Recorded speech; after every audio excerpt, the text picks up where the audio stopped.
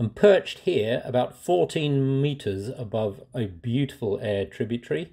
Well, I say beautiful, the water quality is excellent, the channel is mostly natural, but as you see, when we fly along the beck, there are virtually no trees, so it's incredibly exposed to potential warming, and actually it's heavily grazed on both sides, so the banks are quite heavily poached. You can see the influence of fine sediment ingress and the channel is mostly overly wide. There are very few features within the channel itself which actually focus flow uh, and perhaps provide the sort of sorting of substrate that we would want to see to make it ideal for salmonid spawning habitat. There's good gravel in the system, but it's just scattered all over the place. So apart from a very few locations where everything coalesces to form the perfect sort of mosaic of habitat, it's a beck that could do with some help. But anyway, I'm up here with the express permission of the landowner to look for trout redds.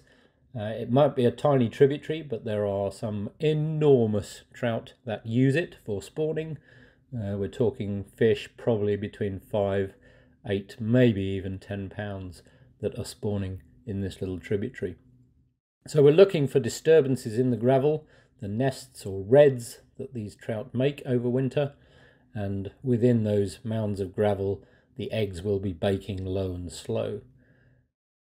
So as we set off up the beck, the lower part is quite featureless, and there's not much clean gravel at the bottom, but boom, you can see emerging at the top of the screen there a very large redd at the sort of rejoining of the two uh, parts of the channel split upstream and reconvene uh, at that point. And as we go around the bends here, you can see there's a few scratchings by smaller trout maybe, making some smaller nests. There's a whopping great gravel bar disturbed by big trout. So redd there and an even larger one upstream now about mid-screen overlaying uh, an older redd and progressing further upstream, another enormous redd coming into view. So this one here is about two meters long, maybe even longer, and there's a older redd in the deeper water below, which has been overcut by the look of it. A few scratchings as cleaner gravels by smaller trout in a few locations, but otherwise not much activity in this particular reach. One redd coming into the center of view now, and then a bit quiet towards the top end here.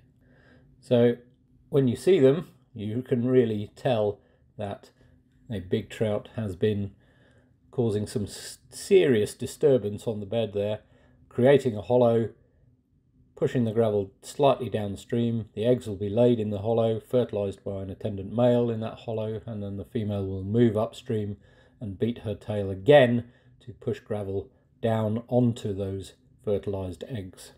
And yes, as I said, hopefully they'll be baking low and slow within the gravel somewhere.